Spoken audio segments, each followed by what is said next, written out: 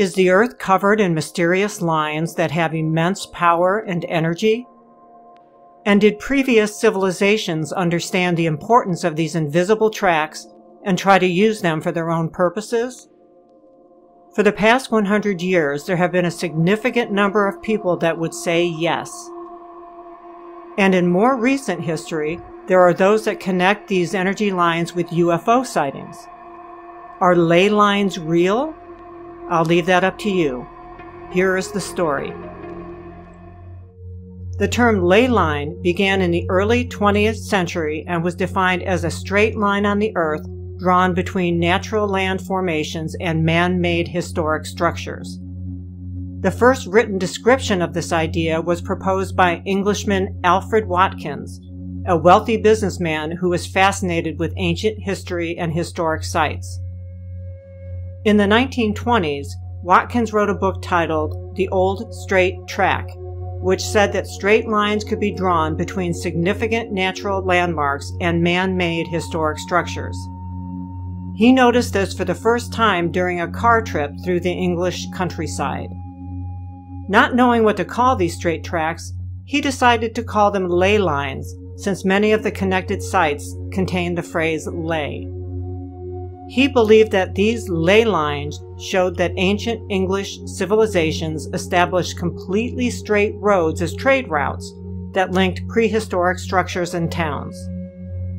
Watkins also created drawings of what he considered to be the most prominent ley lines he had observed. He also theorized that the famous Long Man of Wilmington in Sussex was a chalk drawing of an ancient man using some type of equipment to determine the path of a ley line. Although many people shared Watkins' beliefs, mainstream archaeologists never accepted his theories. There were a variety of reasons that his ideas were rejected, including the fact that the straight lines Watkins proposed would have been largely impassable due to rugged terrain. We have all experienced driving on curvy roads that were designed to avoid mountainous terrains, for example. Archaeologists also believe that ancient civilizations did not have the technology to create entirely straight roads as trade paths. But it is interesting in the same time period, the theory of Heilige Linien, translated as holy lines, was also documented in Germany. But the ley lines and holy lines theories were developed completely independently of each other, which is pretty coincidental. With mainstream archaeologists rejecting Alfred Watkins' theory of ley lines, the concept pretty much died out in the 1930s. Watkins passed away in 1935, still frustrated by the lack of acceptance of his work. However, some of his other beliefs, such as that ancient civilizations were able to clear large tracts of forests, were rejected at the time but turned out to be true. Is it possible then that his theory of ley lines is still waiting to be validated? Watkins' theories suddenly resurfaced in the 1960s as part of the British Earth Mysteries movement. In 1961, Tony Wedd proposed that ley lines were established by ancient peoples to guide alien spacecraft as they approached the Earth.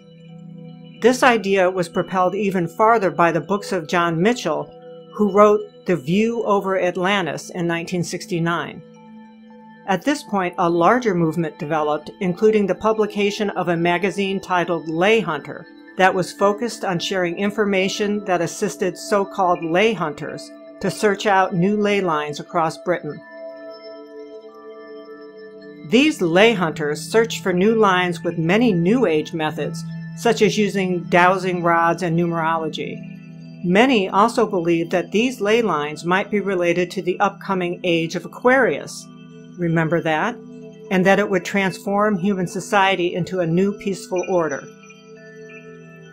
A small number of ley hunters also incorporated scientific practices into their search for mysterious earth energies in the ley lines and the ancient historical sites. Interest in ley lines started dying out in the 1990s, kind of like it did in the 1930s. Today, archaeologists still maintain there is no evidence that ley lines ever existed as straight paths established for trade in the ancient world.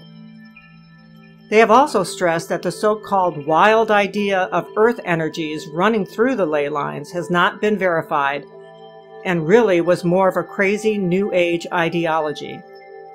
And they certainly never believed that UFOs in any way related to these so-called energy lines. Fair enough. But I have to wonder if there's more truth to this theory than meets the eye. Consider the UFO phenomenon in general. If 20 years ago someone had told me that the US government would openly admit that they can't explain some of the UFOs spotted in our skies, I would have never believed it. But it's amazing that last year the US government actually admitted that UFOs are real. So is it so hard to believe that our ancient ancestors knew things that we are just now starting to understand? Maybe not. Perhaps Alfred Watkins had it right after all. I'll leave that up for you to decide.